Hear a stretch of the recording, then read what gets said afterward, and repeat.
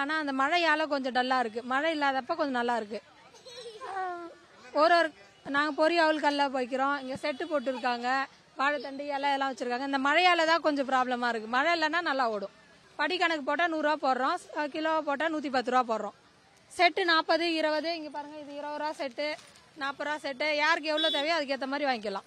அதெல்லாம் இல்லை. இந்த ரேட் கம்மியாக இருக்குது பொட்டுக்கல்ல ரேட் மட்டும் கொஞ்சம் ஏறிடுது. மற்றபடி எல்லாம் கம்மியாக இருக்குது ஆயுத பூஜை வந்தாவே பொட்டுக்கல்ல ரேட் ஏறிடுது. செய்திகளை உடனுக்குடனும் துல்லியமாகவும் தெரிந்து கொள்ள சப்ஸ்கிரைப் பண்ணுங்க.